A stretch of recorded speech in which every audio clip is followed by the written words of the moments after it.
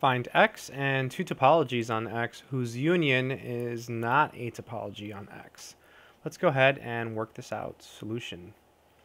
So the way I did it was I just picked X to be ABC. So ABC. And then we have to define two topologies on this set uh, where the union uh, will not be a topology. So one easy case maybe is to take tau sub 1 now we have to include x in the empty set no matter what because that's one of the conditions uh, for tau sub 1 to be a topology on x. And then maybe just include this open set here. And that should be good. This is certainly a topology on x. It contains the whole space and the empty set. The intersection of any of these guys is also here, and so is the union, so there's no problems. Then we can take tau sub 2, and we can do the same thing. We can take capital X, the empty set, Except this time, let's take a different element. Let's take let's take B. This is also a topology on X.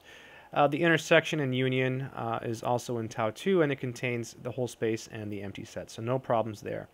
The interesting thing happens when, when we take the union. Well, the union is going to be X, the empty set, the set containing A, and now we also get the set containing B. And this is not a topology on capital X. And it's pretty easy to see why. So note the singleton set containing A, the singleton set containing B.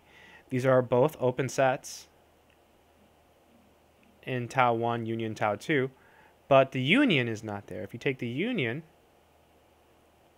of these two singletons, you get the set containing A and B, and this is not in the union. So we found two open sets in tau 1 union tau 2 whose union is not in tau 1 union tau 2. So this guy is not a topology on capital X. So not a topology. Right, the union of any number of open sets must also be an open set. In other words, the union of any number of these guys also has to be in this set. So we found two sets whose union is not in here. So I hope that made sense.